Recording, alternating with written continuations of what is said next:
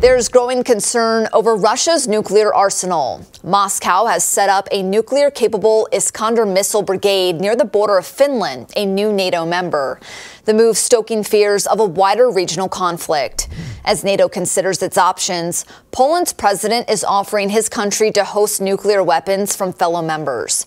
He noted talks about nuclear cooperation between the U.S. and Warsaw have been ongoing for some time.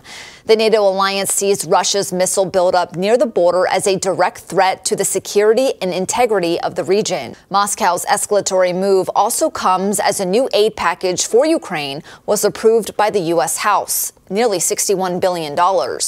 The Russian foreign minister accused the U.S. and NATO of pushing for a strategic defeat of Moscow.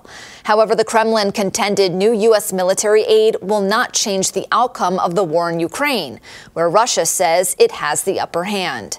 A Kremlin spokesperson claims the aid will lead to new victims on the Ukrainian side.